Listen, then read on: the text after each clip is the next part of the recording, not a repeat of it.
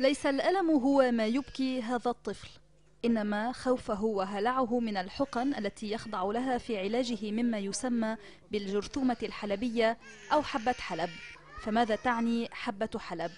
هي الإكليتيكلك كلمة تستخدم باللغة العربية الدارجة لتمني الأذى لأحد. أما طبيا فهي مرض يسجل طارئا في السجلات الطبية في لبنان. هي بكتيريا وصلت حديثا مع اللاجئين السوريين إلى لبنان وتنتشر عن طريق العدوى. بلشمانيا هي حبة حلب اسمها مسمى معرف معرف عنها. صراحة نحن بالبداية جتنا كم حالة وما قدرنا تعاطينا معها لأنه بقى جديد علينا بلبنان، أنا حسب الأطباء اللبنانيين اللي هون إنه هيدي أول مرة بتظهر عليهم. واستعنا بعض الأطباء كمان السوريين سألونا عن هالحالة، قدرنا توصلنا الحمد لله حلول بين أطباء لبنانيين وأطباء سوريين، قدرنا جبنا دواء معين وقدرنا عالجنا أكثر من سبعة من حالات بالمركز هون. وهذا الموضوع صراحة عم بيتزايد عنا كثير.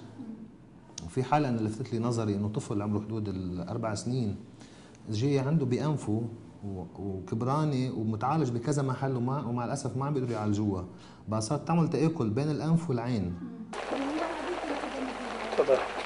مئات الآلاف من اللاجئين السوريين يعيشون في هذه الخيام.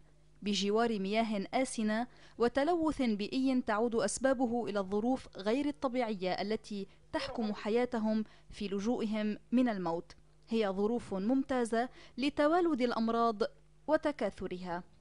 الحالات صراحة متعددة بشتى الأمور الطبية من الالتهابات الصدرية لالتهابات الكبد لأمراض كمان الروماتيزم الأعصاب وفي عندنا مشاكل بضيق التنفس الربو الحساسية وإلى ما إلى يعني كل هالأمور الطبية عم نتعاطى معها يوميا تقريبا. الأشياء الجديدة أنا عم لك عنها يلي ما كنا نشوفها.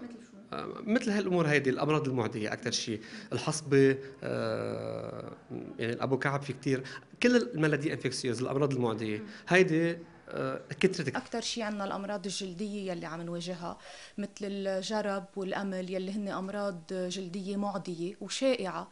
كمان في الليشمانياسز حبة حلب يلي آه كتير انحكى عنها بهيدي الفترة. بس الناس يمكن شوي عم تستوعب الأمور بشكل مضخم. وزارة الصحة مأمنة الأدوية لكل الأمراض الموجودة عند النازحين وهي مدركة لخطورة الأمر إذا ما تعالج.